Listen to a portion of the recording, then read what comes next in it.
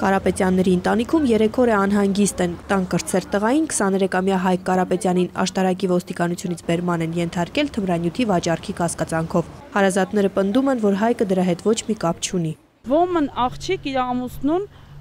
պլան է ուղարկել կոշի գաղութ։ Բռնվել են։ Այնքան են ծեծե ինքը ասելա, որ ինձ մարշրուտկի շոֆերն է տվել այդ պլանը մարշրուտքի շոֆերին են բռնել, ծեծել են, ասել են քեզով ա տվել, ինքն էլ ասել է թե Արգանդի խաշմերուկից է ինչ որ տղա ինձ տվողը։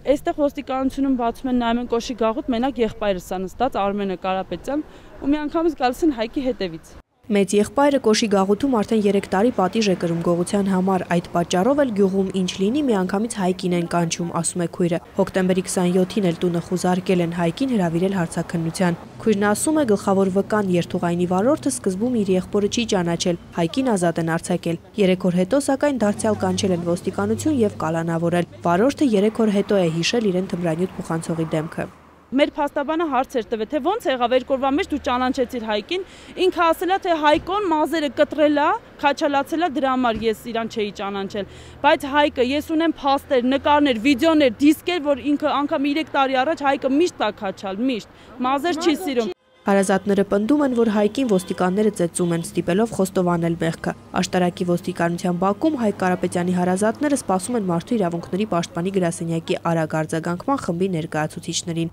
Նրանք եկել են ահազանգի հետքերով։ Խոշտանգված եղբորը տեսնել ցանկացող անգինի համար ՄԻՊ-ի ներկայացուցիչների հայտարարությունն անսպասելի էր։ Հայկի վրա բռնության հետքեր չեն գտել, դուժածն ինքն էլ չի բողոքել։ Ոչ մի ոստիկանը տեղ չկար, ես յան մի քանի անգամ բազմիցս առաջարկեցի, ասես զգուշացեցի, որ մեր այս խոսակցությունը կոնֆիդենցիալ է, ոչ մի իրավապահ մարմին տեղյակ չի լինելու, դու կարող ես հանգիստ մեզ պատմել ինչ ա եղել։ Ինքը հաստատեց իր նախկինում կրկնած խոսքերը, որ իրան ոչ մի բռնության նկատմամբ ոչ մի բռնություն չի կիրառվել, իրան պատիվ ու արժանապատվություն նվաստացնող վերաբերմունք չի դրսևորվել, ոչ մի խնդիր ինքը չուներ այնտեղ։ Ոստիկանության գործողություններն մենք նայել ենք, բոլորը պատշաճ իրականացած ձերբակալման որոշումը կար, Բերմանի ենթարկվածների մատյանում գրանցված էր, խուզարկության թույլտվությունը, ձեր տանը խուզարկությունը իրականացվող խուզարկության թույլտվությունը։ Ոչ մի բան չի գտնվել։ Կալանավորման օրվանից Հայկի գործը վարող փաստաբանը հրաժարվել էր գործից։ Հայկի նոր փաստաբանը հանրային պաշտպան Արսեն Գալստյանն է։ Կարապետյանները չեն վստահում նրան։ Օգնության համար դիմել են Հելսինկյան ասոցիացիային։ Միքայել Դանիելյանը նոր փաստաբանի հետ աշտարակի ընդհանուր իրավասության դատարանում է։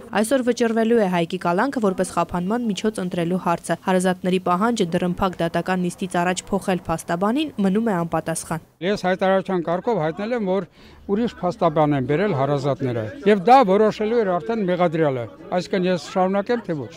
Մեղադրյալն էլ